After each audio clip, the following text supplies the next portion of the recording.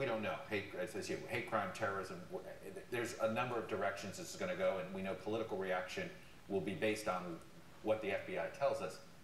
Should it matter? It's a terrorizing situation, No, no matter what.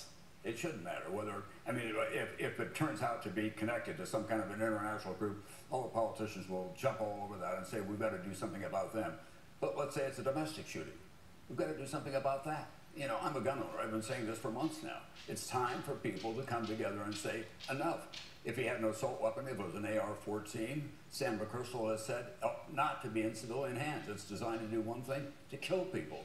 We don't have any dialogue going on in America about all of these mass shootings that have occurred since San Bernardino.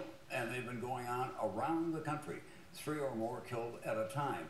This absolutely belongs in the political debate, and it ought to be a place where both parties can talk about it in a rational fashion to dial down. You got a problem? Get a gun. That's what goes on now. It's got to come to an end. It's a terrible commentary. Your initial thoughts and reaction? Well, the unmistakable muttering